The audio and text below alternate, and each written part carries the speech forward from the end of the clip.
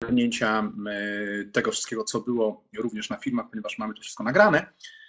Natomiast dzisiaj, moi drodzy, mm, bardzo ciekawy temat, temat związany z odżywianiem, ale zanim mm, przejdę do tego, y, kilka słów, y, no tak tytułem wprowadzenia, wstępu, żebyśmy właściwie jak zawsze mieli taką jasność, to jak wszystko wygląda. Więc pierwsza sprawa, taka bardzo ważna, kluczowa, to oczywiście no, ta, ta formułka prawna, która musi być wszędzie i zawsze, że wszelkie informacje przedstawione w trakcie webinaru mają wyłącznie cel edukacyjny. Dobrze, więc jakby chciałbym, żebyście Państwo no, rozumieli nas, prawda? No tak to jest, żyjemy dzisiaj w takich czasach, że, że wszystko musi być w jakiś sposób owarowane. I to jest taka pierwsza sprawa. Druga rzecz to może odpowiedź na kilka pytań.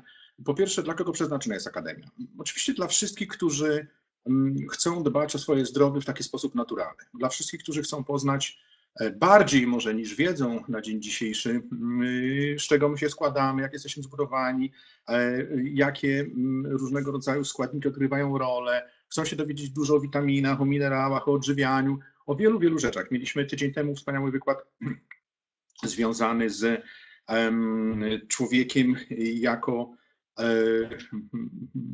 istotą niezbadaną, tak to się nazywało, prawda? Przeciekawy. Dzisiaj kolejny wspaniały, ciekawy wkład. Kto, czy korzystanie z Akademii wiąże się z kosztami? Oczywiście, że nie. E, jak najbardziej wolni słuchacze, kto chce korzystać z Akademii, może z niej korzystać, nie ma tu żadnych e, obwarowań finansowych. E, kto będzie prowadził Akademię, czy kto prowadzi Akademię? Mamy dwójkę wykładowców, dokładnie są to doktor nauk medycznych pani Zuzanna Jeziorska.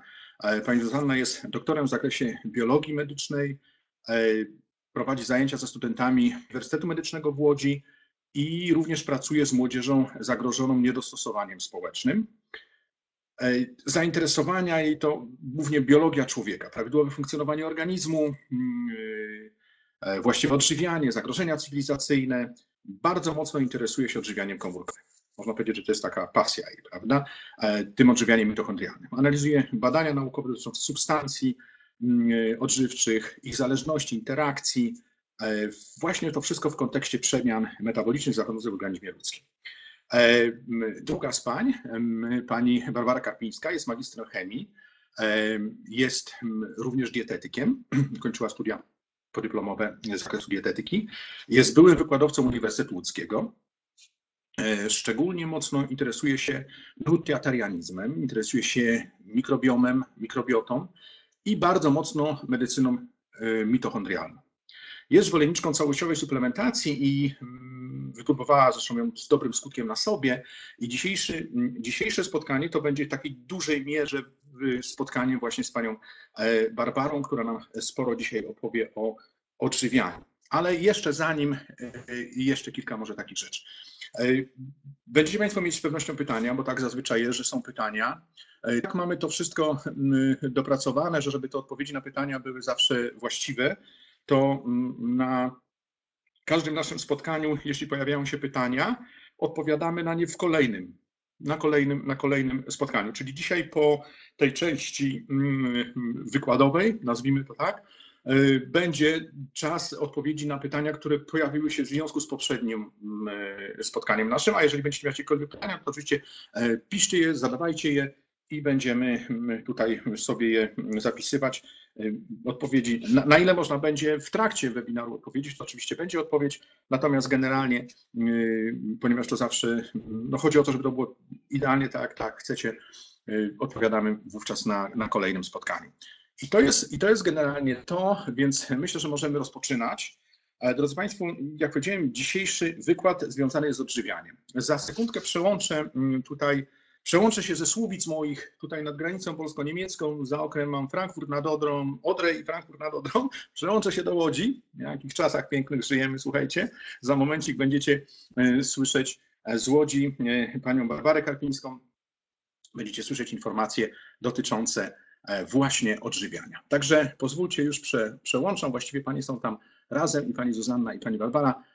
Już czynię je prezenterem i proszę, drogie panie, żebyście tylko co trzeba tam, jak zawsze, włączyły i będziemy mogli już za sekundeczkę Was e, prosić o, o, o głos. Już widzę, że jest Jest łącze, wczytywana jest kamera.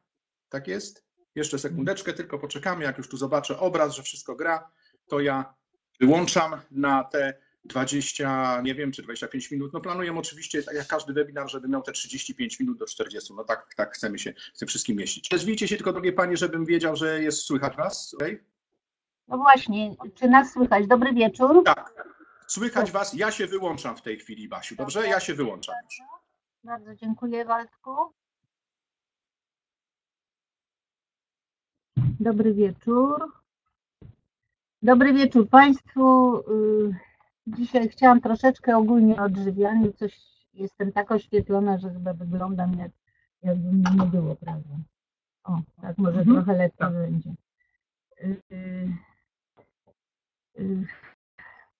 No tak, było kilka pytań, proszę Państwa, o tym, jak odżywiać się, żeby wspomóc swoją odporność, żeby po prostu regulować swoje zdrowie. To jest, są przecież dzisiaj piramidy żywienia, które obowiązują aktualnie. Tak może troszeczkę historii. Pierwsza piramida żywienia, mm, zdrowego odżywiania powstała w 1992 roku w Stanach Zjednoczonych Ameryki Północnej i miała określać, jakie produkty trzeba jeść na co dzień i ile. Czyli również była podawana gramatura y, tych produktów.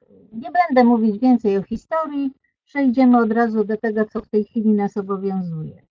W Polsce instytucją, która y, mm, przygotowuje piramidy żywieniowe jest Instytut Żywności i Żywienia w Warszawie. Y, ostatnia wersja y, piramidy powstała na początku bieżącego roku. Poprzednia pochodzi z 2016 roku. Jeszcze wcześniejsza wersja 2009. Y, dużych różnic nie ma, chociaż dzisiaj tam Państwo może część z tego zobaczymy y, wszystkiego mm, po drodze. Będę omawiać poszczególne. Prawda? Zaczniemy od tej, która obowiązuje. Jeszcze jedno zastrzeżenie, najważniejsze zastrzeżenie. Y, w tej chwili mamy do czynienia już nie tylko z piramidami żywieniowymi, które mówią o tym, jak się odżywiać, ale również mówią nam o stylu życia czyli są to piramidy aktywności fizycznej i odżywiania. Właściwie to tak byśmy y, powinni je nazywać. Y, co jest ważnego? W piramidach najważniejszą rzeczą jest to, że jak to piramida, to mamy y, podstawę, coś źle tutaj poszło mi, przepraszam, o, to jest pierwsza, tak, to jest aktualnie obowiązująca piramida zdrowego żywienia. Proszę zwróćmy uwagę, to, to jest na dole piramidy, u podstawy, tego powinniśmy najwięcej spożywać i stopniowo do góry idąc zmniejszać ilościowo. I zwróćcie uwagę Państwo, że na dole mamy aktywność fizyczną. Przy czym tutaj mamy aktywność fizyczną, taką zwyczajną, codzienną, prawda? Chodzenie po schodach, jazda na rowerze, nic wyczynowego. Y, ta aktywność fizyczna zalecana to jest od 30 do 45 minut. Y, przy czym to skądinąd y, taka sugestia, żebyśmy jednocześnie, to znaczy w jednym momencie, w jednym ciągu, że tak powiem, może o tak, wykazywali tę aktywność co najmniej przez 10 minut.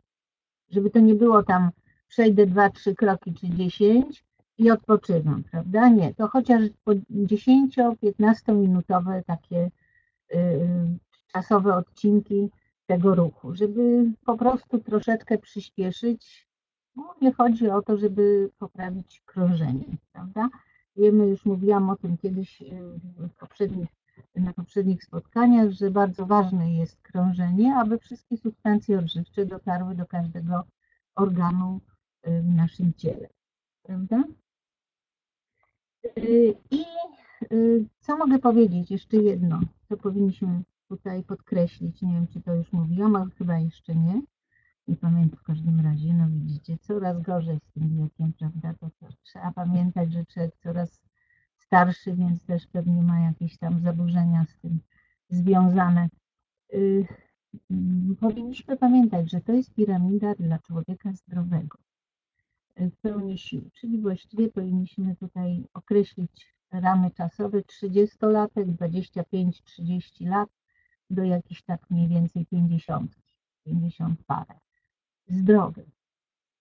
Bo dotyczy to tylko osób zdrowych, dlatego że osoby, które mają jakiekolwiek problemy zdrowotne, powinny być na określonej diecie. Rozumianej diecie jako pewne ograniczenia w związku z występującą jednostką chorobową, ewentualnie y, no, sugestie, prawda, powinny być y, przedstawione przez lekarza lub y, może lepiej nawet przez dietetyka. Tutaj z moich doświadczeń wynika, że lekarze mają bardzo ogólnikową wiedzę na temat odżywiania. Zresztą trudno się dziwić. Muszą wiedzieć inne rzeczy i muszą ciągle swoją wiedzę medyczną uzupełniać, więc niech się tym wszystkim zajmują dietetycy. Y, proszę popatrzeć, y, co tu mamy na samym y, dole piramidy żywienia. Mamy tutaj obok tego ruchu, popatrzcie, wodę. wodę. Woda w ilości co najmniej 1,5 litra do 2 to jest minimum właściwie. 5 do 8 szklanek dziennie nawet się zaleca. Czyli dużo więcej niż no w zależności oczywiście od ruchu, jaki wykonujemy. I podstawa, już przejdziemy do produktów spożywczych, to widzimy warzywa, warzywa i w niewielkim stopniu owoce. Trzy czwarte z tego, co jemy z tej dolnej, z tej podstawy, to powinny stanowić warzywa, jedną czwartą owoce, no bo owoce y, zawierają więcej cukrów prostych y, i jeszcze sugestia, powinny być jedzone raczej w godzinach mm, może nie samego rana, ale no gdzieś tak do godziny 14, 15 najwyżej. Nie jeść owoców raczej przed snem. Y, tutaj z boku mamy chyba sól. Tak, tu jest sól. A tam na górze jest cukier. Tak, przekreślony. Widzimy, solić nie powinniśmy. No tutaj mamy y, też troszeczkę, ostatnio nawet y, mamy troszeczkę takich doświadczeń, że to niekoniecznie zawsze bez tej soli, proszę Państwa, dlatego że sód też nam jest bardzo mm, potrzebny, odgrywa bardzo znaczącą rolę w naszym organizmie. Dzisiaj jeszcze troszeczkę może y, Pani doktor tutaj nam powie, Pani Zuzia, na ten temat, ewentualnie no w każdym razie, proszę Państwa, jeśli nie mamy żadnych problemów zdrowotnych, to ograniczmy może sól, nie przesalajmy tego, prawda? Używajmy więcej ziół zamiast soli, ale nie rezygnujmy z niej zupełnie. Następny poziom to, jest, to są produkty pełnoziarniste. Produkty, mm, które są z ziaren i tutaj w ogóle same ziarna również występują, pieczywo, ale też pełnoziarniste, widzimy, że ciemne i, i właśnie to są te produkty, które nawet jak mąka tu jest też pokazana, ale ona też powinna być z pełnego przemiału, z pełnego ziarna. Do tego boku zaraz wrócę. Y, tu z kolei mamy powyżej nabiał, produkty mleczne, y, przekiszone mleko również, bo tutaj powiedzmy jogurty, y, czy tam kefir i tak dalej. No ten żółty ser to ja bym się tutaj spierała, bo proszę Państwa, żółty ser w naszym układzie pokarmowym zjedzony mniej więcej, że tak powiem, pałęta się przez 5 do 7 dni. Czyli nasz układ pokarmowy musi nad nim tak długo pracować, żeby mógł z niego cokolwiek przyswoić. Więc nie wiem, czy to jest taki dobry produkt. Nie powinniśmy przesadzać z ilością e, spożywanego żółtego sera. Tym bardziej, że bardzo wiele serów, które jest, kupujemy na przykład w marketach, to nie są prawdziwe sery, tylko seropodobne produkty. Nie dotyczy to tylko żółtego sera, ale białych również, więc tu bardzo ostrożnie. No i w przypadku problemów zdrowotnych y, z układem pokarmowym, to w ogóle ra- ra- radzę, proszę Państwa, ograniczenie produktów mlecznych do minimum. Naprawdę ograniczenie do minimum, a jeżeli już jakiekolwiek wykorzystywanie, to tylko przekiszone. Jogurty naturalne najlepiej. Y, Następny poziom w tej piramidzie aktualnej, no to jest tutaj całe mięso, y, czyli białko zwierzęce, właściwie jest tutaj wszystko razem, proszę Państwa, bo są i ryby, i, i y, jakiś tam filet z indyka, no takie, i również strączkowe. Też tutaj z boku rysunek jest strączkowy. Y, Także no, to już bardzo niewiele. No i na samym końcu to są oleje i też nasiona tutaj, jak widzimy, oleiste. Y, Z prawej strony jeszcze wrócimy. Popatrzmy, tutaj jest kawa, podawana, że można pić kawę i herbatę. Y, O co chodzi? Y, Żeby często, bo sugeruje się, że można zamienić owoce na soki owocowe. Proszę Państwa, gotowe soki owocowe to koniecznie trzeba rozcieńczać wodą. To jest minimalne rozcieńczenie, to jest 1 do 1, czyli powiedzmy tam bierzemy 100 ml soku, to 100 ml wody. One wszystkie są słodzone. I niezależnie od tego, czy mamy napis, y, napis na opakowaniu, że sok jest naturalny, y, y, że nie jest dosładzany, bez cukru i tak dalej, nie wierzmy to. Wszystkie soki robione są z tych samych y, substratów. Y, Mam wiadomości z pierwszej ręki. Y, Kolega pracował w takim przetwórstwie, proszę Państwa. I dlaczego pokazujemy tutaj picie kawy dozwolone jest i picie herbaty? No bo stwierdzono, że te mm, napoje zawierają również różne substancje, powiedzmy zielona herbata, to wszyscy wiemy, że zawiera sporo substancji, które nam pomagają również y, naszym, naszemu organizmowi, wspomagają go. Y, Tutaj jest y, takie coś zielonego, proszę Państwa, narysowane, tu chodzi o przyprawę. A tu na górze to jest cukier przekreślony, prawda? Całkowicie. Reasumując, wrócimy, bo ja jeszcze następną piramidę analogiczną do tej, bo to też jest y, też z 2018 roku, może ona jest bardziej czytelna, to zaraz do niej przejdziemy. Najwięcej powinniśmy jeść owoców i warzyw, około kilograma dziennie i najlepiej jeśli będą surowe. Troszkę owoców, czyli powiedzmy tam około 200 gramów owoców. No, pieczywo, jeżeli jemy pieczywo, pełno, najlepiej pełnoziarniste, no to dwie kromki średnie, mówimy o dorosłym człowieku, który nie ma jakiegoś nadmiernego zużycia energii, prawda, nie pracuje fizycznie.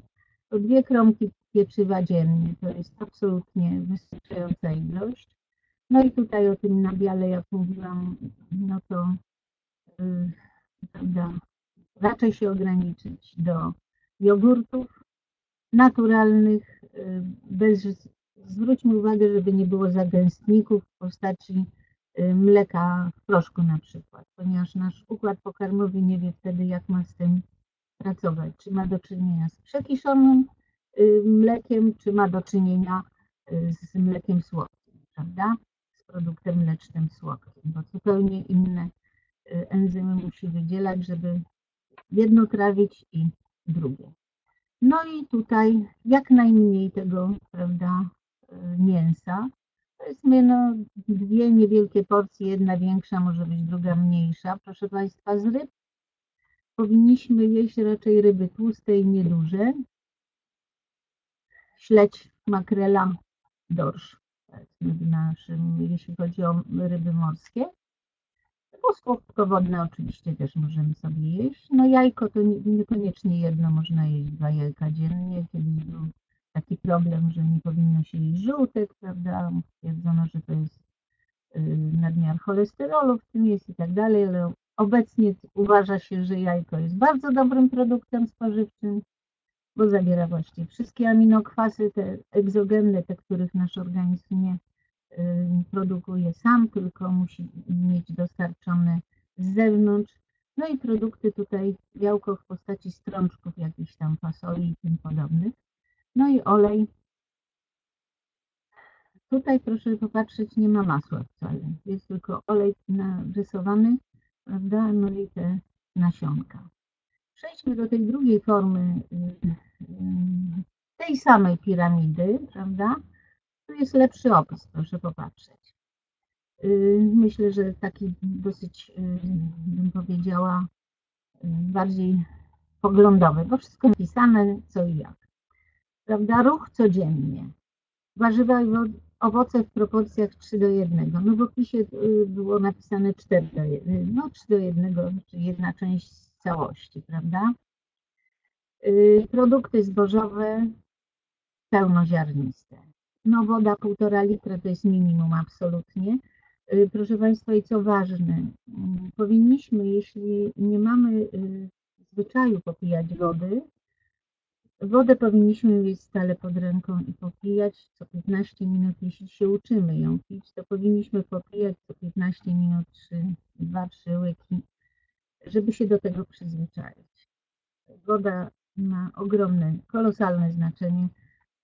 Większości, nasz, większość naszego ciała to ponad 60% to jest woda, prawda? Więc wszystkie procesy biochemiczne zachodzą w środowisku wodnym, w związku z czym to jest absolutnie konieczne, żebyśmy uzupełniali płyny.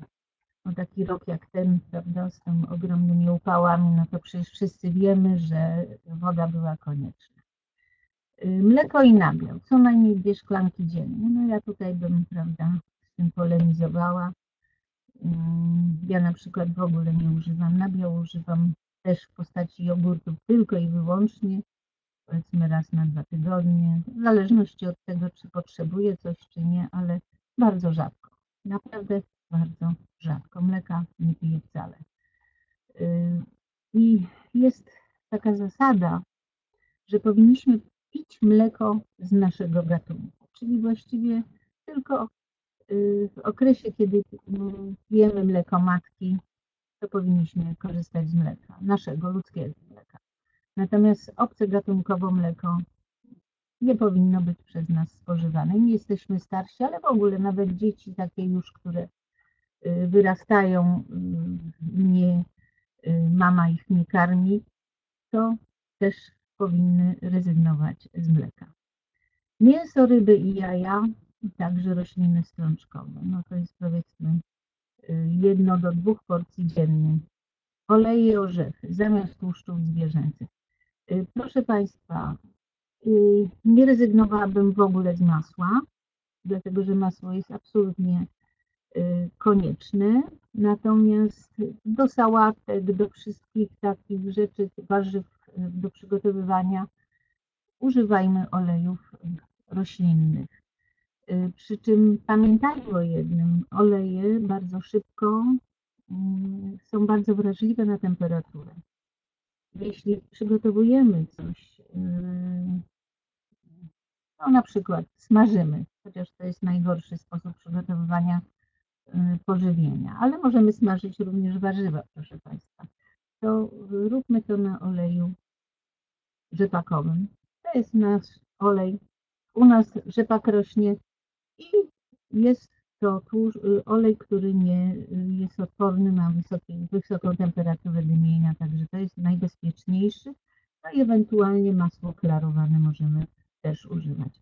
Zioła zamiast soli. No to tak jak mówiłam, proszę Państwa, to jest do dyskusji sprawa. Tutaj, proszę Państwa, jeszcze chciałam pokazać Państwu, jaka jest różnica.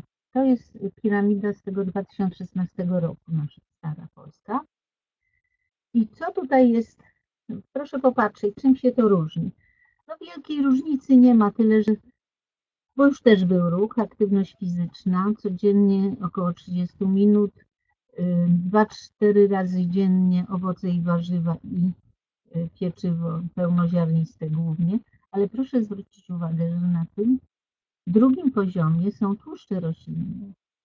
I moim zdaniem to jest bardziej, no, znaczy uważam, że to jest bardziej prawidłowa, y, prawidłowe zalecenie. Ryby, jaja, drób, pestki, orzechy, prawda? strączkowe. Y, Wiemy, że orzechy pestki są bardzo y, ciężkostrawne. Nie powinniśmy jeść, na dzień za dużo i też nie powinniśmy tak specjalnie mieszać. Kiedyś y, było takie przeświadczenie, że właściwie w jednym posiłku nie powinno być białek różnogatunkowych. Czyli jeżeli jemy na przykład jakieś strączkowe, no to nie powinniśmy jeść do tego mięsa, prawda? Także no, myślę, że to też nie jest y, zła, y, zła zasada. W ogóle rozdzielność, jeśli chodzi o posiłki, nie jest y, złą rzeczą. Y, Tu jest, proszę popatrzeć, przetwory mleczne nabiał jeden raz w tygodniu. Aha, bo tutaj w tej części jeszcze jajka też są, prawda? Tudzież wzięte pod uwagę. Jeden raz w tygodniu y, przetwory mleczne. Uważam, że to jest bardziej prawidłowe niż w aktualnej piramidzie. No i tutaj proszę zwrócić uwagę. Tłuste mięso, czyli w sumie chodzi o mięso czerwone, y, wieprzowiny, wołowinę, białe pieczywo, fast foody, słodycze. Ogranicz do minimum lub jest rzadko lub wcale. Ja myślę, że to można tylko wtedy, kiedy na przykład jesteśmy gdzieś tam na jakimś proszonym obiedzie, czy gdzieś tam, no po prostu nie ma innego wyjścia, musimy zjeść coś takiego. Jedz rzadko lub wcale. To jest, uważam, y, właściwa. Myślę, że ta piramida jest bardziej praktyczna, że tak powiem. I tu jeszcze jedną ciekawostkę, proszę Państwa, chciałam zobaczyć. Znalazłam to wczoraj. Proszę popatrzeć na tytuł. Piramida interwencji lidowych proponowana w deklaracji Sopockiej. To było takie spotkanie naukowców, lekarzy y, na temat właśnie y, problemów z cholesterolem. Konferencja na temat problemów cholesterolowych, no bo lipidy to tłuszcze, prawda? Chodzi o to, że y, zwróćcie uwagę, jak ona jest podobna do piramidy żywieniowej, aktywność fizyczna, dieta, modyfikacja stylu życia. To jest najważniejsza rzecz. To jest coś, co każdy z nas może zrobić sam. Prawda? Dieta, ograniczenie jedzenia tych rzeczy, które stoją na górze y, w piramidzie odżywiania. Żywność funkcjonalna, fitosterole, fitostanole. Czyli to jest żywność bogata w substancje y, roślinne, chodzenia roślinnego, które mają właśnie bardzo dużo tych y, odżywczych właściwości.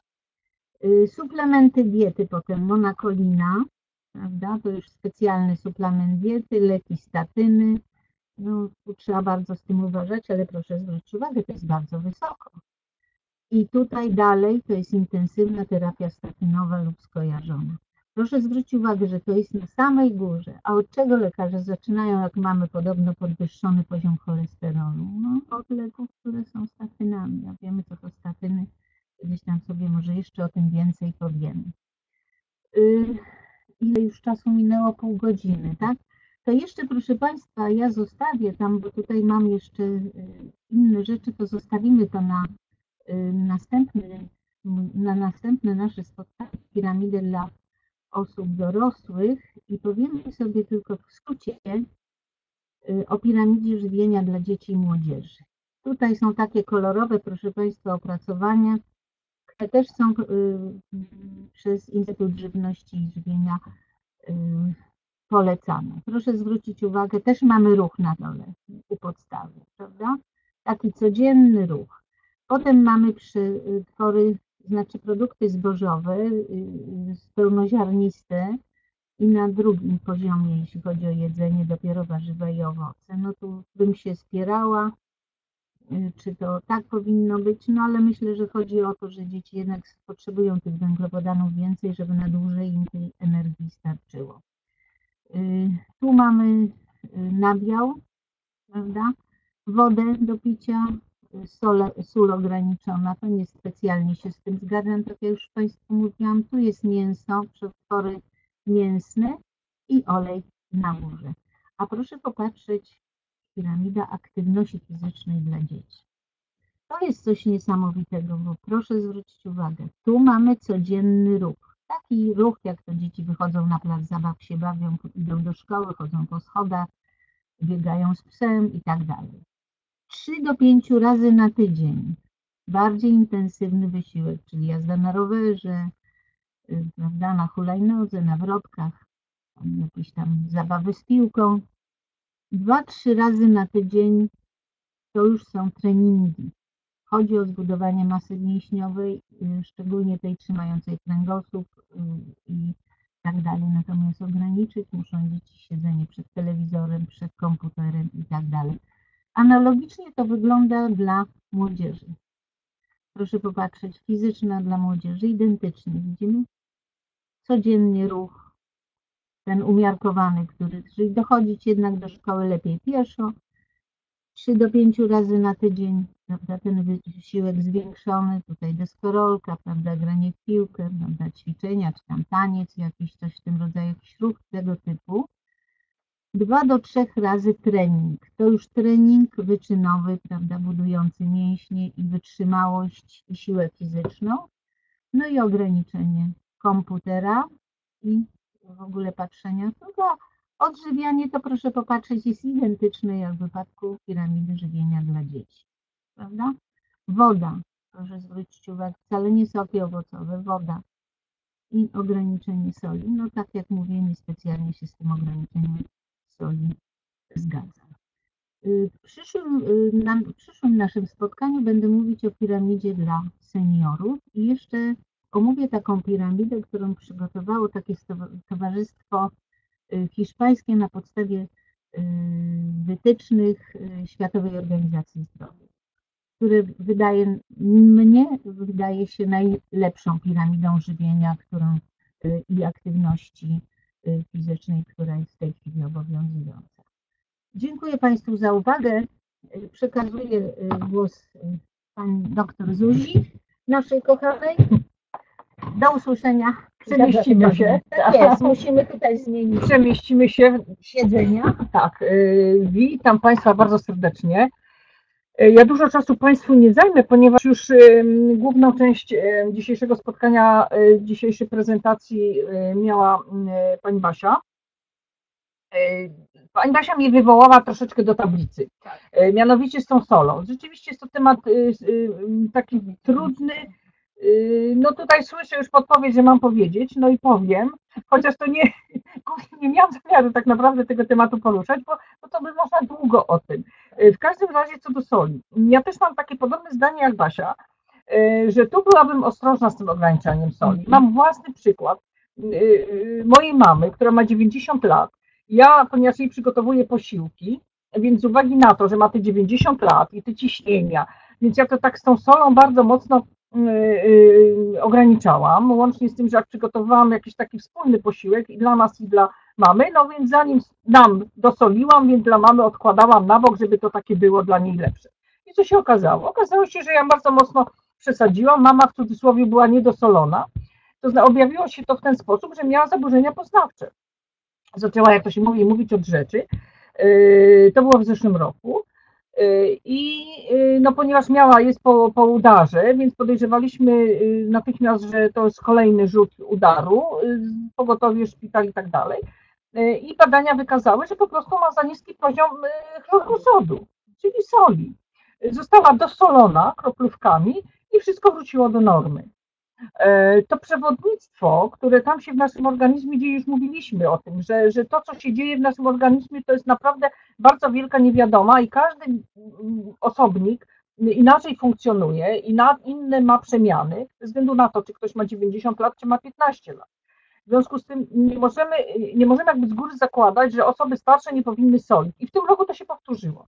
Ale to się powtórzyło w wyniku upałów, ponieważ yy, mama odwodniła się, mimo że ja pilnowałam, bo przecież już jestem świadoma i pilnowałam mm, tej wody, no, no starsza osoba leżąca, no jednak odwodniła się i też właśnie bardzo spadł ten poziom yy, soli, mimo że też już byłam uczulona i tą sól jej yy, tak za bardzo nie ograniczałam tej soli. Także to taka propos soli. O tym jeszcze będziemy mówili, proszę Państwa, ponieważ jest to temat rzeczywiście trudny, bardzo dyskusyjny, i różnie on jest traktowany zarówno przez lekarzy, jak i przez dietetyków. Także wrócimy jeszcze do tego tematu, tylko chciałam tutaj swoim przykładem y, powiedzieć odnośnie soli. Ale to, co ja teraz chciałabym Państwu y, y, powiedzieć, to jest, to chciałam się odnieść do takiego komentarza, właściwie to nawet nie pytanie, tylko taki komentarz jednej z naszych mm, słuchaczek, nie wiem czy jest obecna teraz, y, mianowicie dotyczy leków. Y, Pani napisała, że lekarze przepisują y, często zbyt dużo leków, że są te skutki boczne i, i, i że, że niewłaściwe leki i jest to racja. Jest to racja.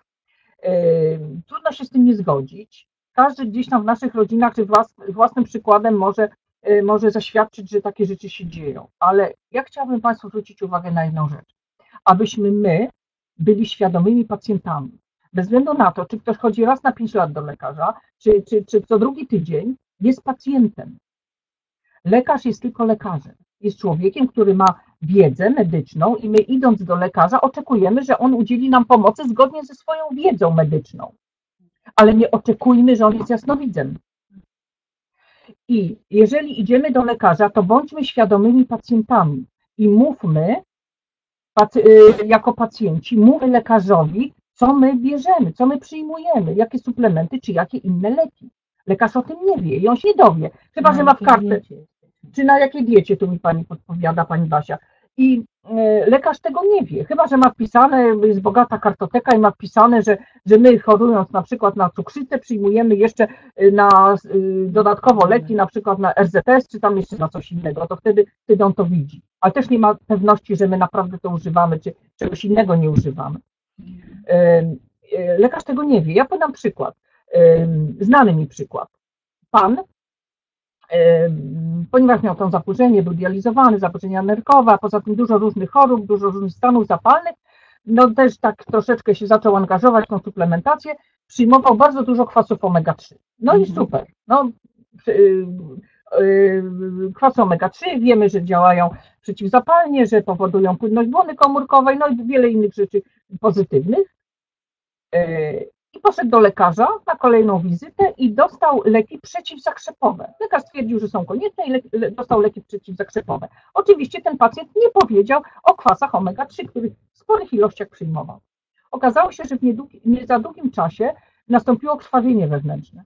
I prawie, że w, koń, w końcowym już momencie zawieziono tego pana do szpitala, no żyje y, i, i, i dopiero tam wyszła sprawa z tymi kwasami omega-3. Przypuszczam, że gdyby lekarz wiedział o tym, można domniemywać, że nie przepisałby w takich ilościach, może by nie zmniejszył dawkę, może było to konieczne, no nie wiem, trudno mi się wypowiadać, nie jestem lekarzem. Niemniej jednak musimy mówić. Y, Podam inny przykład. Pani skarżyła się, że antybiotyki miała zmieniane. Jeden antybiotyk, potem drugi antybiotyk, potem trzeci antybiotyk. Żaden antybiotyk nie działa, lekarz nie wie co robić, przepisuje kolejne antybiotyki. No tak, tylko że ta pani nie powiedziała lekarzowi, że ona popija te antybiotyki em, sokiem em, pomarańczowym, które osłabiają działanie antybiotyków. Więc y, to są może, to brzmi troszeczkę anegdotycznie, jest to też autentyczny, rzeczywisty przykład. Powinniśmy być naprawdę, mieć, być odpowiedzialni za swoje zdrowie, bo lekarz nie jest odpowiedzialny za nasze zdrowie. On po prostu świadczy nam usługę medyczną, za którą my płacimy, albo jakiś tam fundusz nam y, za nas płaci. Ale odpowiedzialni za zdrowie nasze własne jesteśmy my. Bez względu na to, co lekarz powie, jak zareaguje na to, co my mu powiemy, to my tego nie jesteśmy w stanie przewidzieć i uważam, że powinniśmy informować lekarza, jakie leki bierzemy dodatkowo, czy jakie suplementy przyjmujemy. Mm, e, Lekarze generalnie mają, czy, czy na jakich dietach jesteśmy, lekarze mają ograniczoną wiedzę odnośnie substancji odżywczych, czy, czy, czy, czy roślinnych, czy suplementów, chociażby dlatego, że nie mają czasu, żeby sobie doczytać coś na ten temat, a na uczelniach ym, ten temat, czy ta dziedzina akurat wiedzy jest y, w bardzo ograniczonym zakresie przekazywana. Na uczelniach medycznych oczywiście. Y, W związku z tym no, nie dziwmy się też czasami, że lekarze nie wiedzą. Znaczy ja nie chcę tu bronić lekarzy, niemniej jednak y, chcę Państwu, Państwa uczulić, że y, ponieważ jesteście tutaj z nami, uczes- uczestniczycie w naszych spotkaniach, abyśmy y, byli wspólnie świadomi tego, że za nasze zdrowie my odpowiadamy. My też Państwu przekazujemy po to te informacje, żebyście byli świadomi, żebyście y, zdobyli takie, takie y, y, informacje, takie wiadomości mieli, które pomogą Wam być świadomymi pacjentami i również kierować samodzielnie własnym zdrowiem y, w postaci chociażby przyjmowania odpowiednich suplementów, o których będzie w dalszych częściach mm, naszych spotkań mowa. Y, To ja właściwie y, na tyle i chciałabym oddać y, głos, zanim oddam głos do studia w Subicach, to poinformuję Państwa, że za tydzień spotykamy się na, mm, na takiej prezentacji dotyczącej witamin. I też ja ją podzielę, ponieważ najpierw miałam zamiar ją powiedzieć w całości, ale ponieważ no muszę jakby na wstępie powiedzieć Państwu o normach i o tym, jakie one są, jakie powinny być i o co walczą niektórzy y, lekarze, którzy w tej chwili zdają sobie sprawę, że te normy są zaniżone. Chciałam też, aby Państwo y, mieli taką wiedzę i wiedzieli, że jeżeli jest napisane 100% normy, to nie zawsze jest to 100% wystarczające do tego, aby y, wzbogacić nasz organizm o, dany, o daną witaminę czy dany minerał. Także ja na tyle i zapraszam Państwa za tydzień. Oddaję głos do studia w Subicach. Bardzo dziękuję. O, tu Słubice. Dzięki wielkie. Ja już Was wyłączę. Moje drogie, bardzo Wam dziękuję. Już sekundeczkę, sekundeczkę. E, Okej, było. dobra.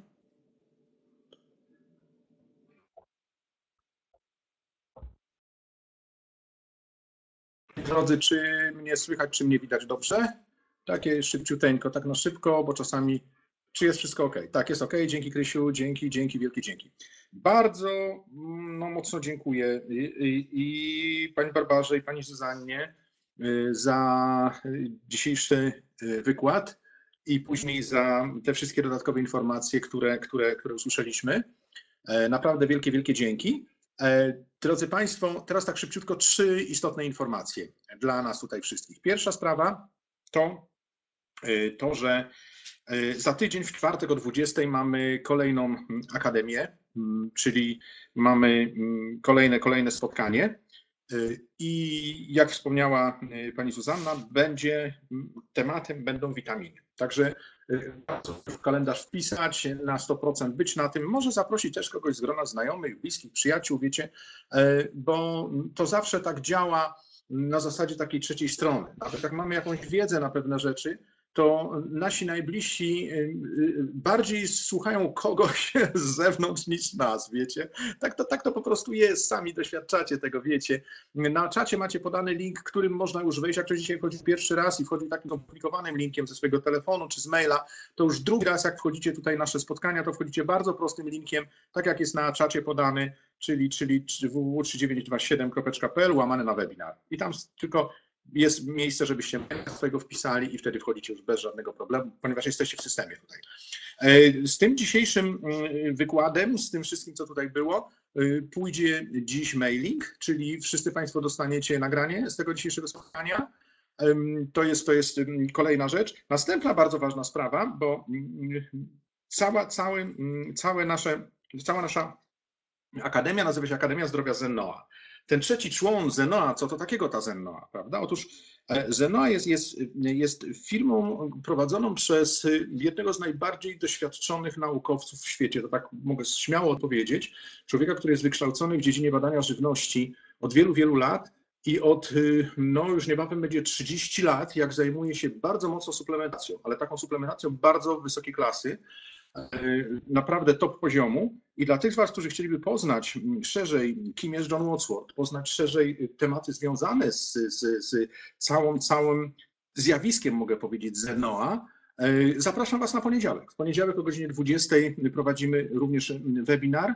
E, To nie jest webinar wtedy konferencja zdrowia, e, czy Akademia Zdrowia, przepraszam. Jest to taki webinar poświęcony głównie Zenoa, temu wszystkiemu, co, co, co wokół tego tematu się obraca. Ale zapraszam, bardzo mocno zapraszam, bo też jest dużo naprawdę świetnej informacji.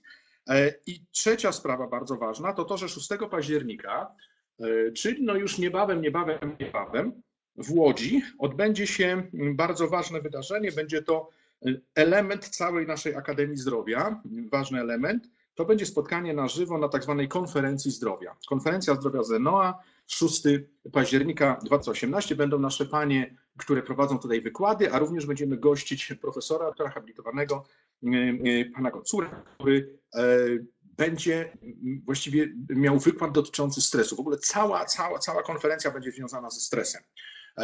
Jak powiedziałem, miejsc, od, od, odbędzie się ona w sobotę 6 października. E, Na czacie macie adres podany. E, Nie, już za chwileczkę będzie, czy już jest, jest adres podany, zenoa.pl. E, Trzeba się na tą konferencję zarejestrować. Dla wszystkich gości i tak dalej jest ona bezpłatna. Konsultanci pokrywają koszta sali, ale y, trzeba się zarejestrować na tej stronie zenoa.pl, wpisać swoje dane, żebyśmy wiedzieli, jakich rozmiarów salę przygotować, ile przygotować tam też kawy, jakiegoś ciasta i tak dalej. Dobra? Więc to jest trzecia sprawa. I chyba to będzie wszystko. Jeszcze raz chciałem serdecznie podziękować e, wszystkim Państwu obecnym tutaj, bo tak patrzę, to generalnie praktycznie wszyscy dotrwali do końca. To tak różnie to jest, jak się nie siedzi przed pulpitem, przed komputerem. Y, Czyli pokazuje to, że rzeczywiście tematy są ważne i, i, i są świetnie podane. Wielkie dzięki dla, dla, dla pani Barbary i dla pani Zuzanny. E, No i to by było na tyle. Do zobaczenia następnym razem, do zobaczenia w poniedziałek, do zobaczenia w czwartek. Tyle na dziś. Dziękuję serdecznie. Waldemar Berna ze Słubic prowadził całość. Dzięki, do widzenia.